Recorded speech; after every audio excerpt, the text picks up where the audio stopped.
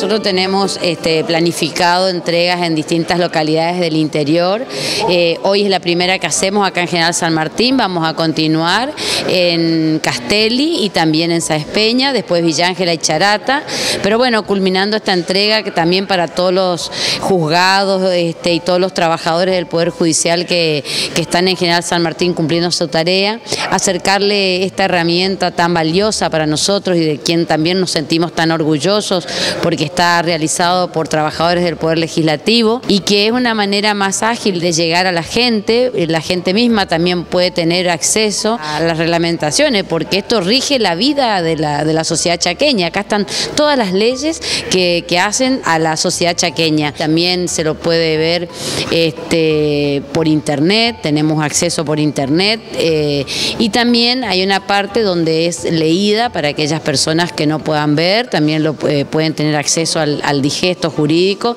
que es el primer digesto de la provincia del Chaco. Decirles también que esto tiene que ver con una política de Estado que tenemos desde el Poder Legislativo, que es la vinculación con los demás poderes del Estado, porque nosotros tenemos que trabajar los tres poderes en políticas de Estado que les sirvan a la gente, que le lleguen a la gente, que la justicia sea justicia, pero que llegue en tiempo y forma de acuerdo a los requerimientos que tiene nuestra sociedad. Estamos convencidos que este reordenamiento y este digesto jurídico ayuda a eso y lo celebramos que así sea y queremos entre todos construir una provincia más equitativa, con mayor justicia, este, inclusiva para todos. Y hemos entregado ejemplares del digesto jurídico a todos los funcionarios y magistrados de esta quinta circunscripción de San Martín. Acto muy importante porque significa de que cada uno de ellos como funcionarios que aplican la ley van a tener un cuerpo donde están todas las leyes vigentes en la actualidad y que plasma un trabajo muy fecundo de la legislatura porque, como lo explicó el doctor Ricardo Sánchez, de aproximadamente 8.000 instrumentos jurídicos que habían aplicándose, se redujeron a 2.000, así que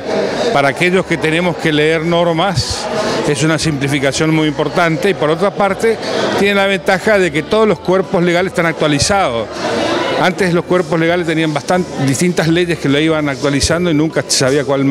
cuál era el, eh, texto vigente. Y ahora tenemos todo eso, así que yo agradecido por mi parte porque como presidente del Superior Tribunal de Justicia debo reconocer que esta es una gran ayuda, no solo desde el punto de vista jurídico, como lo he dicho, sino también económica, porque esto es un, una obra que tiene un precio considerable y de que eso lo alivia al normal funcionamiento de la justicia y de los funcionarios. ¿no?